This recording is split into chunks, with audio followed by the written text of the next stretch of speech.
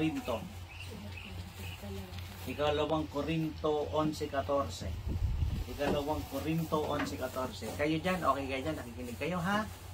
Anong pangalan mo, Day? Ha? Mari? Marta po. Marita. Marita. Po, Marta po. Marta. Ah, Marta. Marta, Marta. Ilang taon ka na, Marta? Nine po. Nine. Tapos, asan na, asan na si ano? Si, Pipay. si Pipay. Kasi Pipay daw. Pipay pala. Naman na sila ba? Kasi Pipay. Si Denden pala umuwi. Ah, okay, sige. Ang gaganda niya. Yan, sige. 2 Corinthians 11.14. Sabi nga nandito. Yan. And no wonders for Satan himself masquerades as an angel of light.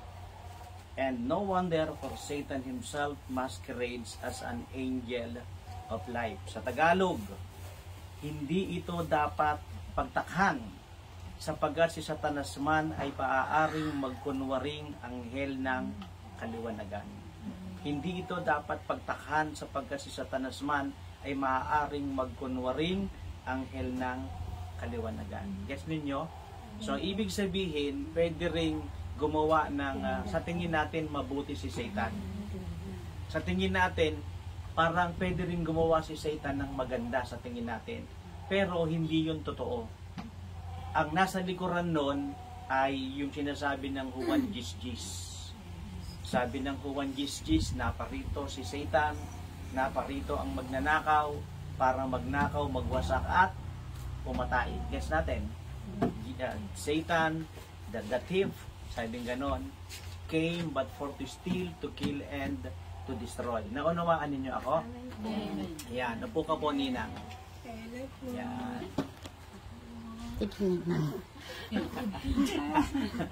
Parang, poli- parang politician eh. okay lang. parang politician, no? Kaya gustong gusto ko dito masaya rito eh. Dito ay masaya. Dito ay masaya. Laging masaya. Kaya dapat makakantahin din natin yung mga ganyan eh para masaya tayo. So ayun, yung pinag-aaralan natin, 2 Corinthians 11.14. And no wonders for Satan himself masquerades as an angel of light. Hindi ito dapat pagtakhan. Ibig sabihin, ah, dapat natin itong maunawaan, maintindihan, tanggapin na ito mismong si Satanas ay maaari raw magkunwaring anghel ng kaliwanagan. Yung gagawa ng maganda, gagawa ng mabuti, kunwari lang. Sa English, deception, deceiving spirit, no? Gumagawa ng mabuti, gumagawa ng banda, maganda, pero hindi totoo yun. Kasi ang sabi ng Juan Gis, naparito siya para magnakaw, magwasak at pumatay. The devil, the thief, came but for to steal, to kill, and to destroy. Yung mga good things na ginagawa niya, behind those good things, ay pangit talaga. Nakunawaan natin. Parang mga budol-budol, yung mga budol-budol, na kunwari magpapakilala ka, mag-anak mo, na kunwari tutulungan ka, pero ang layunin nun, ku- kukunan ka ng, ah, may kukunin na sa'yo. Kukunin na yung mga cellphone mo, kukunin na yung mga pag-aari mo. Ganoon, kanya, deceiving spirit, deception. No?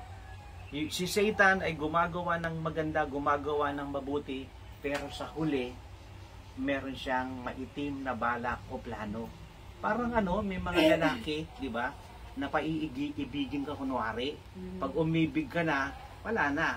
Ah, pag gutay-gutay na, gutay-gutay. Iiwanan ka na. Di ba? Hindi totoong pag-ibig. Hindi kagaya ng mga napangasawa niyo, totoong pag-ibig talaga yan. yung, yung naramdaman ni Brother Francine kay Sister Connie, totoong pag-ibig yun. Di ba ano? Dumaan si Sister Connie dyan, talagang yung mata mo umikot no, dalabat percent ka, hindi mo tinutukan na tinutukan.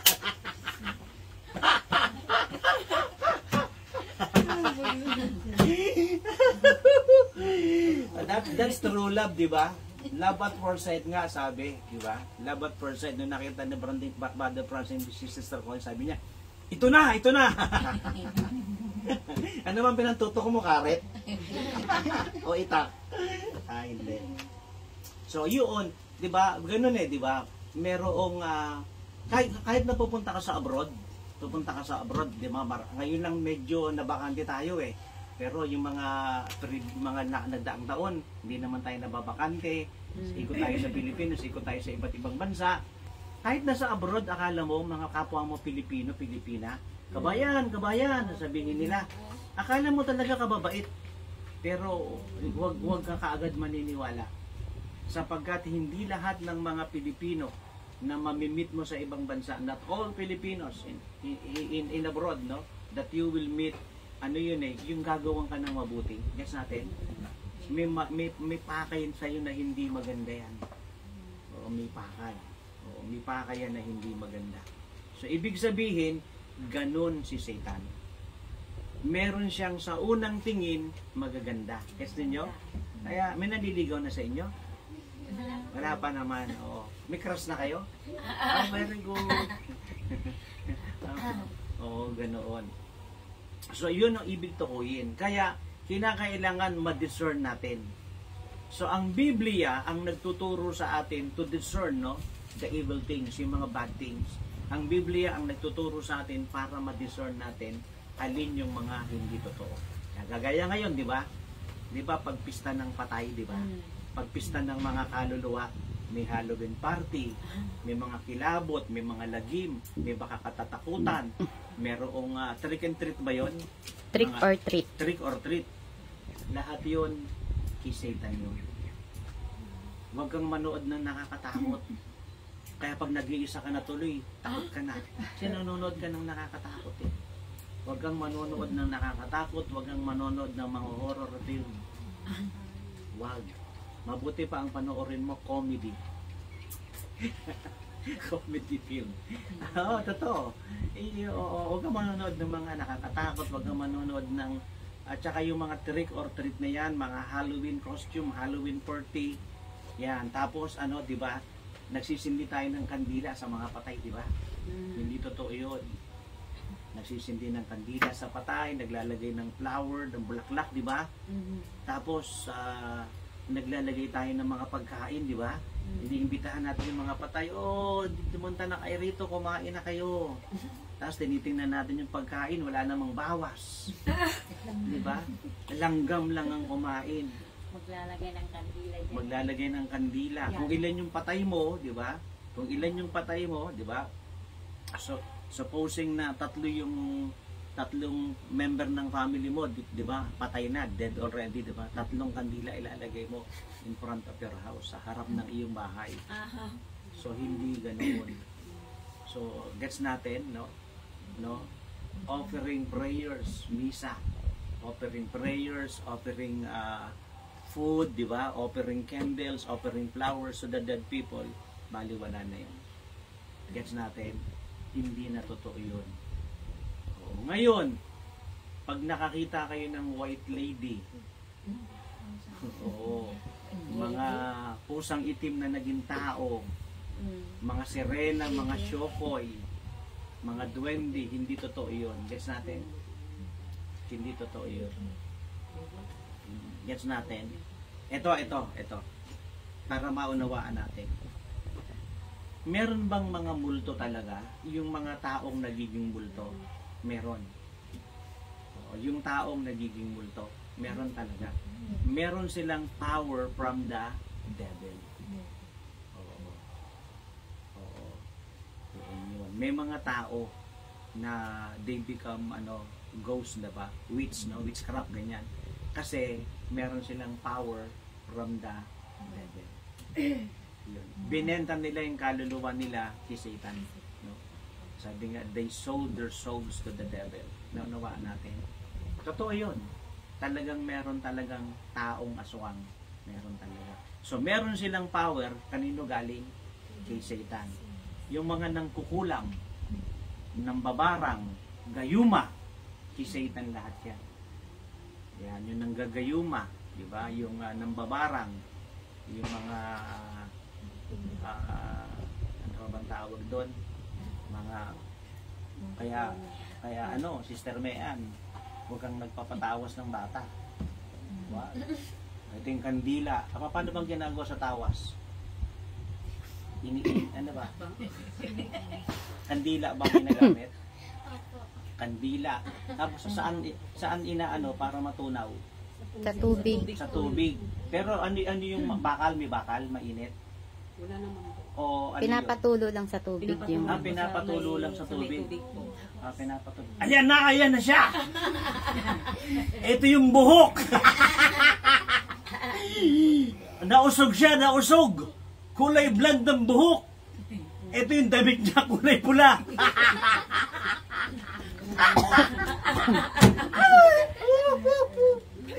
Hindi totoo yun. Ha? Hindi totoo yun. Hindi yun. Ano yun? Mga deception ni Satanas. No? Deception ni Satan. No. Ganito yan. Pag naniniwala ka sa deception ni Satan, lolokohin ka niya lalo. Lolokohin ka niya. Parang mangingibig yan eh. Di ba? Pag hindi naman totoong mangingibig yan, liligawan ka ng gusto niyan. Pag napaibig ka na niya, makikita mo, bangtit na pala yan, nagbabartik na pala.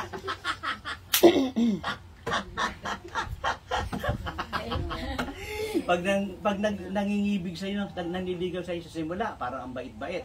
Hindi niya pinapakita yung tunay niyang ugali, tunay niyang pagkatao.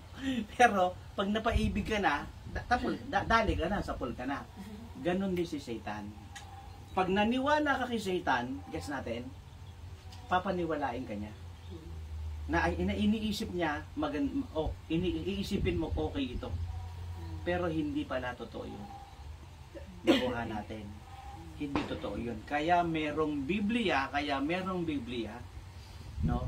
In order for us to discern the truth, para malaman natin ang katotohanan. Naunawaan natin. So, ibig sabihin, number one, Satan has power. May power si Satan. Nagbibigay din si Satan ng power sa mga, ano niya, yung, yung gusto magkaroon ng power. Oo. At, ah, yun, nag, nagbibigyan din. Kaya lang, yung mga binibigyan ni Satan ng power, saan pupunta yon Sa impyerno. Maraming ayaw magbabakuna kasi akala nila 666 na yon. Hindi pa yun ang 666. Pero pag natutok, na, natatakan ka ng 666 dito sa noo at saka dito sa kamay, no? Malamang dito yun eh, no? Kasi ano yun eh, ah, chip yun eh. Chip, mo ilalagay dito. Dito yon malamang. Yung relo ko, ano to, quartz ito eh. Ibig sabihin, di battery. Pero pag ang relo ko ay automatic, ang nagpapatakbo niyan, yung, yung pulso ko. So yun, mal- malamang dito yan, dito at saka rito. So pag natatakan ka ng 666, hindi ka na papasok ng langit, impyerno na ang punta mo. Gets natin? Naunawaan natin.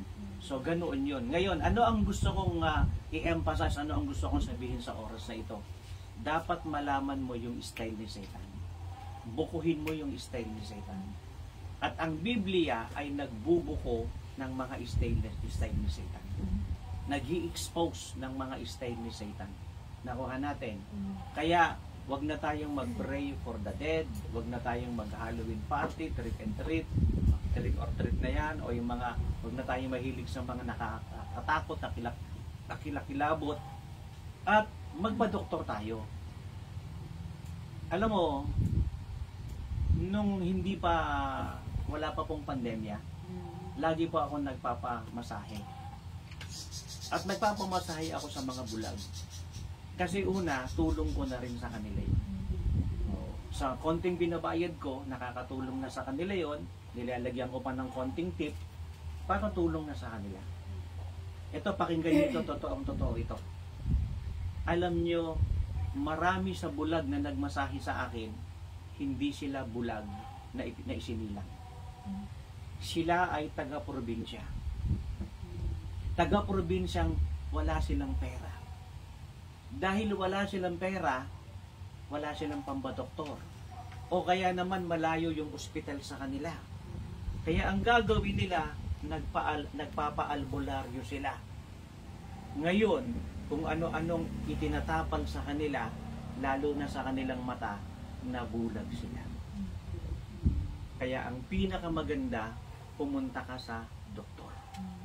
Magtanong ka sa doktor. Kasi yung mga doktor, nag-aral yan eh. Yung mga physical therapist, nag-aral yan. Yung mga midwife, di ba? Yung nagpapaanak, nag-aral yan. Yung mga nurse, nag-aaral yan. Yung mga doktor, nag-aaral yan. So doon ka pumunta. Hindi, huwag kang pumunta kay Mang Kepweng. Sasabihin ni Mang Kepweng, oo, kumuha ka ng dahon ng ano, ng ah, kampupot, ganyan, ganyan. Tapos dikdikin mo. Totoo ito, totoo. Sabi ko, bakit ka nabulag? Kasi tina, tinapalan daw ng albularyo yung mata niya, nabulag. Nakakaawa. Ganyan ang marami. Oo, ganyan ang marami. Na imbis na pumunta ng doktor kasi nga walang pera eh. Albularyo na lang, sa mantatawas na lang. Pwede pa yata utang sa mantatawas eh, pwede ba? O pwedeng ano lang, ah, bigyan mo lang, ano bang, ano bang binibigay mo ron? Donasyon lang, okay lang. Ganoon. Oh, di ba? Ay sa doktor, di ba? Pero dapat, yun ang ipag-pray natin sa ating gobyerno. Na dapat yung pondo ng gobyerno maibigay sa mga tao, di ba? Lalo na sa mga lugar na ganito, yung mga lugar na ano, alam nating nangangailangan ng tulong, di ba?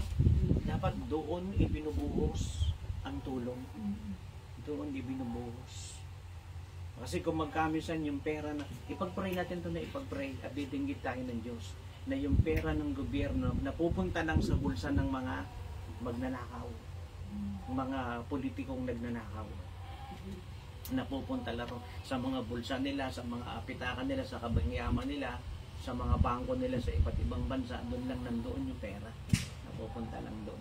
So hindi dapat yun. Kaya dapat ano, ngayon, merong hinihiling sa atin ng Diyos. Kung sakasakali na maraming kakulangan, maraming kahinaan, o kawalan ng pera, tumakbo tayo sa Kanya. Manalangin tayo sa Kanya. Ang Diyos ay gumagawa ng himala. Gets natin? Gumagawa ang Diyos sa himala. Oo. Maniwala tayo sa Panginoon. Anong sabi ng Jeremiah 33 verse 3? Jeremiah 33 verse 3, Call unto me, and I will answer thee, and I will show thee great and mighty things which thou knowest not. Tumawag ka sa aking pangalan, sabing ganoon, ikaw ay aking tutulungan. Gagawa ako ng mga mahimalang mga bagay. Na- Nakikinig, nakikinig pa ba kayo? Gagawa ako ng mga mahimalang mga bagay. Guess natin? Mm. Ganito ang pakikipag-usap sa Diyos. Panginoon, ayan, wala po. Kulang ng ganito, kulang ng ganyan, walang ganito, walang ganyan, pero merong mga pangangailangan. So, ang Diyos ang tutugon. Gets natin? Naunawaan po ba natin? Ang Diyos ang tutugon ng lahat ng mga ah, bagay na iyon. Yun yun. So, yun, yun ang kinakailangan natin na ang Diyos ang tutugon. So, ano yung ibig kong tukuyin sa oras na ito? Number one, maikli lang itong pag-aaralan natin, ang ibig kong tukuyin dito, gagawa ng mabuti si Satan. Gagawa ng maganda si Satan. Pero ang dulo noon, dadaling ka sa impyerno. Ang dulo noon, mapapahama ka, mapaparusahan ka, mapapariwara ka. Hindi gaganda ang buhay mo. Hindi uunlad ang buhay mo. Nakuha natin, hindi magiging maayos ang buhay mo. Nakikinig pa ho ba tayo? So, ganoon yun. Yan. Oo. So, para, para pumasok tayo ng langit, maalis lahat ng sumpa. No? Para tayo guminhawa o gumaling o tu- tumanggap ng mga mabubuting bagay mula sa Panginoon. Sundin natin yung pinapayo ng Biblia. Sundin natin. Ano ang sabi ng awit 107 verse 20? Ipinadala ng Panginoon daw ang kanyang salita upang ang salita ay mapakinggan, upang salita ay mabasa. Gets natin? Upang ang salita ay maintindihan. Awit 107 verse 20. Sabing ganon, pinadala ng Diyos ang kanyang mga salita na upang mapakinggan, mabasa, marinig, maintindihan, maunawaan. At sabing ganon, upang tayo raw ay maligtas at gumaling, no? At maligtas sa lahat ng mga kapahamakan. Nakuha natin. So ngayon, alam mo ang kinakailangan natin, yung paniniwala sa salita ng Diyos. Eh. Gets natin? Alam ba ninyo na ang salita ng Diyos taliwas sa sinasabi ng mundo? Taliwas. Sabi ng Diyos, unahin mo ako at ang aking kaharian, di ba? Ang aking katwiran, ibibigay ko lahat ng pangangailangan ninyo. Di ba? Pero maraming tao hindi nila uunahin yan kasi mas gusto nilang tugunan yung pangangailangan nila. Baliktad. Amen. Pero ang sinasabi ng Diyos, hindi yan ang una mong tutugunan. Hindi yan ang una mong hahanapin. Hindi yan ang pagsusumakitan mo. Hindi yan ang priority mo. Pag inuna mo ako, ang, ako, ang, ang aking kaharian at ang aking katiran, lahat yan isusunod ko. Nakuhanin nyo? Parang ganito yan eh. Mga magulang kayo, tama. Ang gabi, ginagawa niyong araw. Ang araw, ginagawa niyong gabi. Nagpupuyat kayo, nagpapagal kayo, nauulanan kayo, naaarawan kayo, di ba? Sumisigaw kayo. O, tulya kayo, tulya, tinapa kayo, daing. O, ano, ah, nog-nog na tuyo, bumili na kayo. O, itindahan, bumili ka, sa akin ka ng umorder. Ginagawa mo ang lahat ng paraan para sa ikabubuti ng pamilya mo. Tama? Kabubuti ng pamilya mo. Walang gagawin yung mga anak mo. Kakain lang, di ba? Mag-aaral lang, tama? Pero ikaw ang magbibigay ng lahat ng pangangailangan nila. Correct?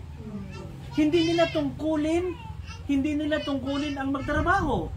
Ang, gaga- ang gagawin lang nila, mabubuhay lang sila ng maayos, mabuting anak. Tapos mag-aaral lang sila. Ang magulang ang magsusupply ng lahat ng pangangailangan nila. Ganon ang Diyos. Wa, ang hinihingi ng Diyos, magpakabuti ka lang bilang anak ng Diyos. Lahat yan tutugunan niya yan.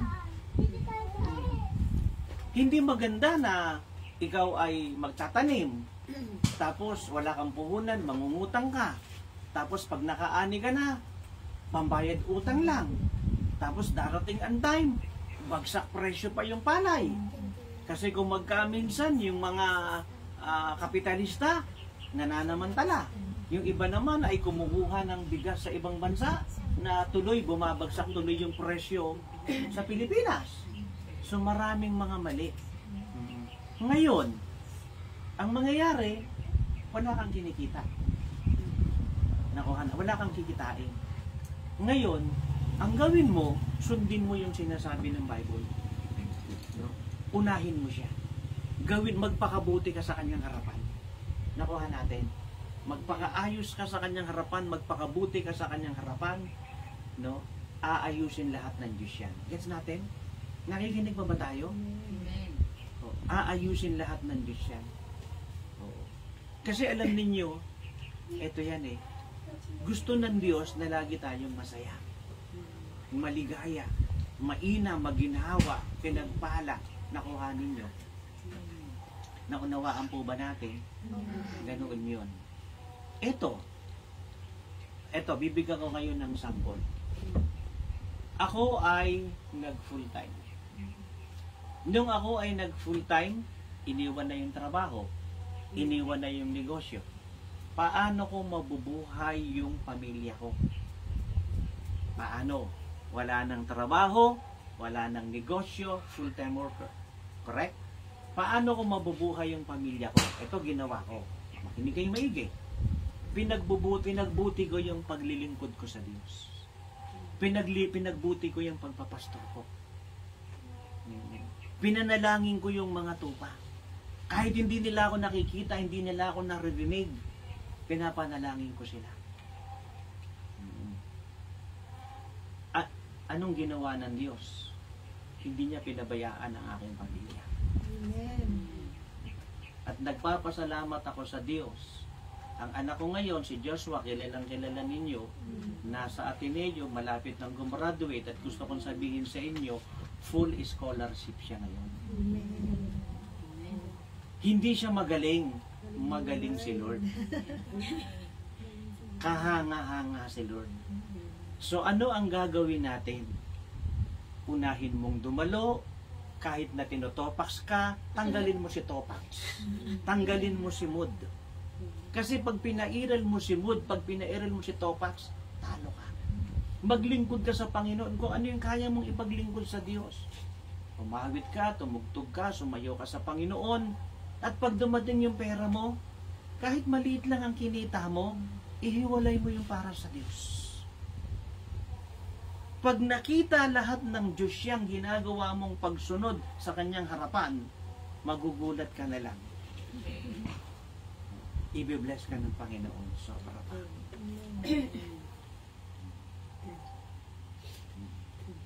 Kasi bakit yung mga tao hindi nakakapagbigay? Kasi puno ng pag-aalala eh.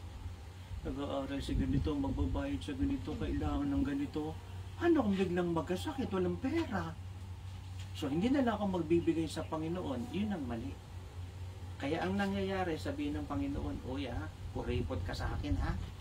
Hindi mo ako inuuna ha. So ang nangyayari, hindi rin tayo uunahin ng Diyos. Ako, ano ang naging sekreto ko? Totoo yun, kung magka minsan, sabi ko nga, minsan nagpupunta, nagpupunta kami rito. At tanongin nyo sila, Pasora, sila Sister Ebon. Minsan kami ni Pasora roon, taga-abono kami. Pero binabalik ng Diyos yun, sobra pa. Gets natin? Sobra pa. Tingnan nyo yung mga kilay at saka makeup ni Pastora Roan. O, hindi nagbabago. And then, natural beauty yan. Wala siyang kilay, wala siyang makeup. Natural beauty yan. yes, nauna, naunawaan ninyo ako? Yun. Pag, eto, pag sumunod ka kay Satan, pag sumunod ka kay Satan, akala mo maganda, mabuti. Pero ang dulo, kapahamakan, kahirapan, parusa, papunta ka sa impyerno. Pag sumunod ka sa Diyos, para ang hirap, ang sakit, di ba? Sabihin ng Panginoon, pasanin mo ang iyong krus at sumunod ka sa akin. Ang ibig sabihin ng krus, kalooban ng Diyos. Utos ng Diyos. Sumunod, dumulo ka, maglingkod ka, magkaloob ka. So para ang bigat nun, ang hirap nun. Pero ang hindi mo alam habang sinusunod mo yun, ginaganahan ng Diyos na i-bless ka. Kunwari, may anak ka, di ba? O pinagbubuti mo yung pagtitinda mo. Tapos nakikita mo yung anak mo, nag-aaral. Pinagbubuti pag-aaral. Walang kasintahan. Honor student. O. La, di ba? Lalo kang ginaganahang suportahan siya. Ganun ang Diyos. Gaganahan ang Diyos na suportahan at tulungan tayo kapag alam ng Panginoon, pinagbubuti natin ang ating tungkulin sa Diyos. Amen. Halimbawa, mga bata, nag-aaral kayo, Marta, nag-aaral ka? Anong grade mo na? Ah, grade 3. Yung mga pangangailangan mo ba sa school, natutugunan naman lahat? Wow, very good yung magulang mo. Palakpakan natin yung magulang mo. Thank you, Lord. Anong pangalan niya? Si Pipay? Pipay, natutugunan ba lahat ng pangangailangan mo, Pipay? Opo. Wow! Galing talaga yung mga magulang. Oh, halimbawa, halimbawa, Marta, Pepay, na hindi natutugunan yung mga pangangailangan nyo ng magulang ninyo, no? Ang gawin mo lang, pagbutihin mo lang sa harapan ng Diyos. Tapos ang Diyos ang tutugon ng lahat ng pangangailangan. Amen. Itong ipinapangaral ko, totoong totoo ito. Totoong totoo ito. Na kapag sa, sa, sa oras, laging unahin si Lord. Sa pera, laging unahin si Lord. Everything, laging unahin si Lord.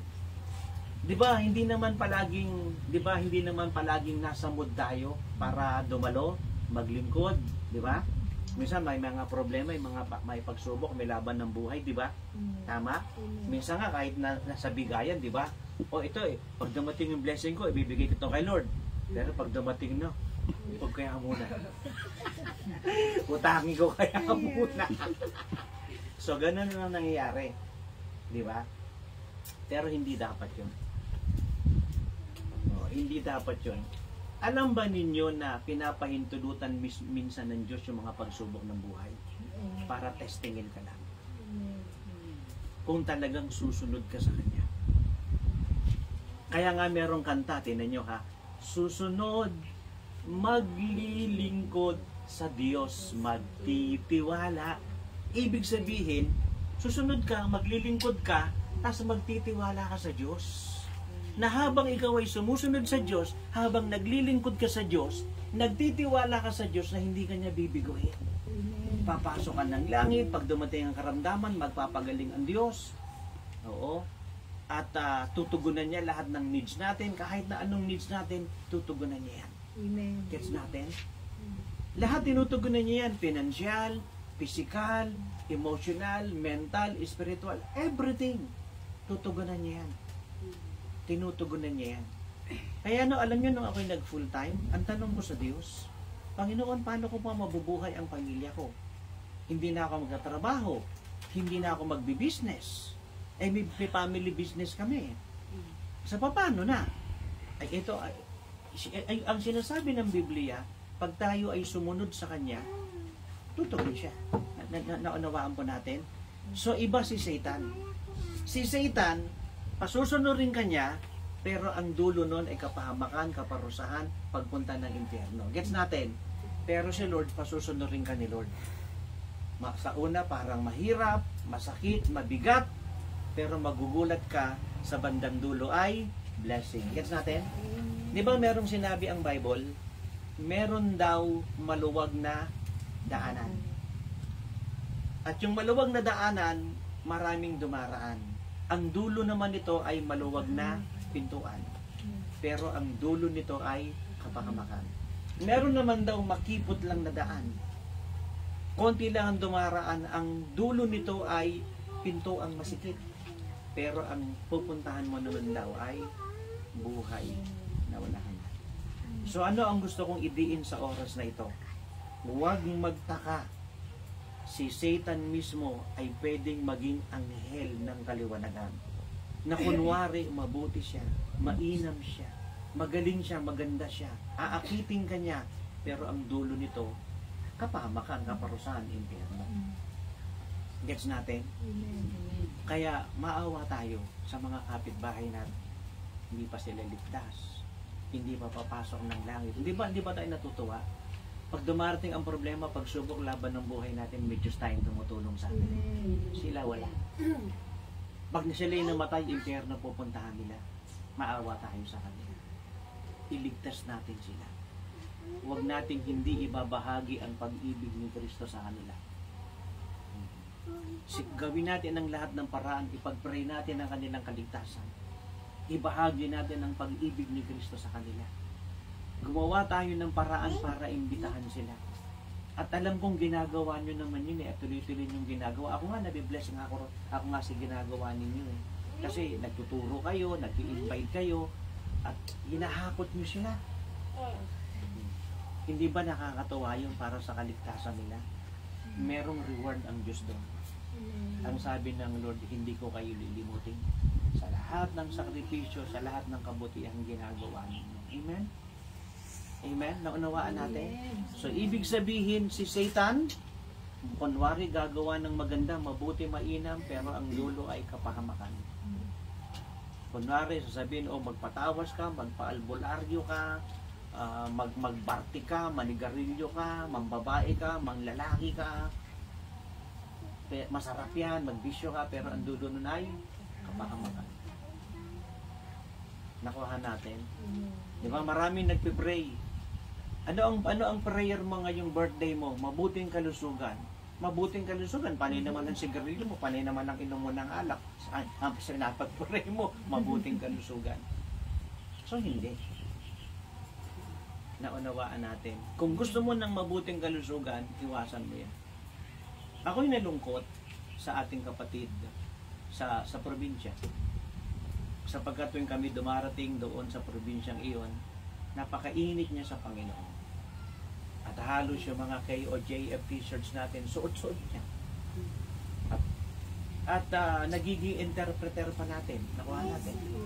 Kasi sa mga probinsya, hindi naman lahat doon ay magagaling magtagalog. Parang kayo rito, di ba? Mas magaling pa kayong mag-Ilocano kaysa sa mag-Tagalog. So.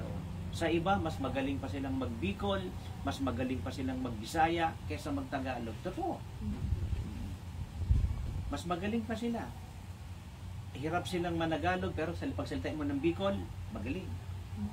Hirap silang magtagalog sa pagsalitain mo ng Bisaya, magaling.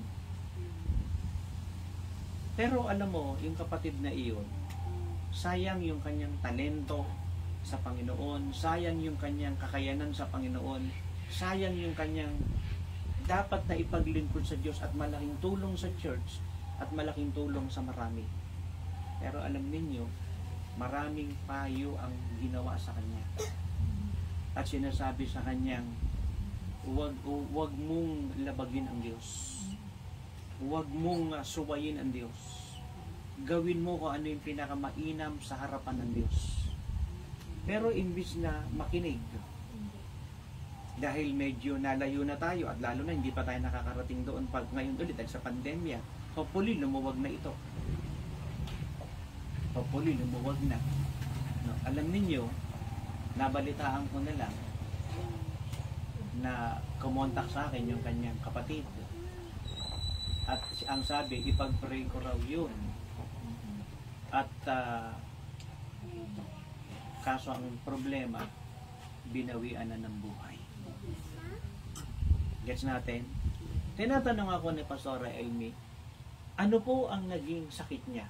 O ano ang dahilan ng kanyang pagkamatay? Isa lang ang sinabi ko, pagsuway sa Diyos. Kasi nawala na yung divine protection ni Lord. Nawala na. Nawala na yung pag-iingat ni Lord. Hanggat na, kayo mga magulang kayo eh. Pa, handa kayong mamatay para sa inyong anak. Correct? Handa niyong ibigay ang buhay ninyo para sa inyong anak. Ganon ang Diyos. Ibinigay niya ang buhay niya sa atin sa krus ng Kalbaryo. Romans 8.32 Romans 8.32 Ngayon, kung hindi ka susunod sa Kanya na binigay niya ang buhay niya sa iyo, nawawala ang divine protection. Nawawala yung pag-iingat, tug- yung pagtugon ng Diyos, yung pagmamahal ng Diyos, yung kalinga ng Diyos. Nawawala. Naunawaan natin. Para, para, tayo ay proteksyon, proteksyonan ng Diyos, na huwag tayong ma- ma- madala ng kadiliman, ng kapahamakan, ng kamatayan, premature death, huwag tayong pumunta ng impyerno, huwag tayong nako-COVID. Sabi ko nga, dapat si Satan ang nako-COVID, hindi tayo. Kasi, tsaka yung mga wala sa Diyos, kung tayo pa ang mako-COVID, sino pa magpipray sa kanila? Nasaan ang mga lingkod ng Diyos? May COVID ako. May COVID din eh. Patay ka. Kaya hindi ka dapat, hindi tayo dapat nako-COVID. Tayo ang nagpe-pray sa kanila eh. Tayo ang tinatakbo nila, nilalapitan nila. Sa anong ibig nating tukuyin? May panapasunod si Satan, lalo na ngayon pista ng patay. Pero ang dulo niya kapahamakan, parusa, papunta sa impyerno. Pero ang Diyos, nagpapatuloy siyang may pinapagawa sa atin. May pinapasunod sa atin ng Lord. May pinapatupad sa atin ng Lord. Minsan wala tayo sa mood, mahirap, nasasaktan tayo. Minsan parang parang kabigatan ito. Pero hin- hindi. Nagaya ni Sister Ebon. Hindi rin biro yung babae ka, magdadrive ka. Oh. Ang layo-layo pa ng biyahe namin. Eh kung mag-drive pa naman ito, ang bilis pati hams, tinatalunan. Kaya pag nakaupo ka, bog! Magugulat ka, oy! O, di ba? Sa sakripisyo yan eh. Pero naniniwala kami, naniniwala tayo. Lahat ng ginagawa nating pagsunod sa Diyos, sa unang tingin ng tao, mali yan. Pero ang dulo niya na ibiyaya. Biyaya. Biyaya ang nasa dulo niyan. Ang pagdalo, ang pananalangin, ang pag-aayuno, ang pagkakaloob. Ang pag, lahat yan, biyaya ng Diyos yan. Sa likod niyan ay biyaya ng Panginoon. Kaya nung sabihin sa akin ni Diyos, Papa, full scholar ako ngayon. Thank you, Lord! Bakit, Sister Christy? Kasi kung hindi siya nag-full scholar, ikabibigay ko lang sa kanya ng 30k eh. Yung 30k na yun para sa mga books, para sa mga pangangailangan niya, etc. etc. para sa mga Xerox, di ba? Oh. Iba pa yung tuition fee, iba pa yung mga pangangailangan niya. Oh. Pero lahat yan tinutugunan ng Diyos. Gets natin? So, manalangin tayo, mag-ayuno tayo, dumalo tayo, maglingkod tayo sa Panginoon, maging maalab tayo, maging maapoy tayo sa Panginoon, mag-imbita tayo, manundo tayo, ipaglingkod natin ang buhay natin sa Panginoon, puproteksyonan tayo ng Diyos. Gagabayan tayo ng Diyos. Iingatan tayo ng Diyos. Ipaglalaban tayo ng Diyos. Pagtatagumpayin tayo ng Diyos. Guess natin? Ibibless tayo ng Panginoon. Isang araw, hindi ka na mangungutang sa kanila, sila naman na mangungutang sa'yo. Hmm, Isang araw, hindi ka na tauhan, ikaw naman ang mamumuhunan. Isang araw, ikaw naman ang nasa taas, wala ka sa baba. Bakit? Kasi inuna mo si Lord, naging masunurin ka sa Diyos. Amen? So tayong lahat ay yumuko at pumikit. Yumuko tayong pumikit. Sa oras na ito, habang tayong lahat ay nakayok at nakapikit, sige ha, sabihin mo ngayon sa Diyos, gagawin mo siyang number one. Sige. Kaya nasa mood ka, kaya wala ka sa mood, gagawin mo siyang number one. Kaya may problema, may pagsubok, may laban ng buhay, may epidemya, may COVID, gagawin mo siyang number one. Kay taniman, kay, kay anihan, gagawin mo siyang number one. Kay umuulan, kay tag-init, gagawin mo siyang number one. Kung magkaminsan talagang mahirap sumunod. At sa totoo lang, dahil nasa mundong ibabaw na ito pa tayo, dumarating ang iba't ibang problema pagsubok laban ng buhay. At minsan gusto nating bumigay o kung magkaminsan ay gusto nating maghiganti. Pero hindi ganon. Sisikapin nating maging maayos, malinis, banal sa harapan ng Panginoon at bahala ang Diyos ang mag-ayos ng lahat. Kaya po, O Diyos, sa oras na ito habang kaming lahat ay nakayok at nakapikit, sinasabi namin, Panginoon, na kailangan ka namin.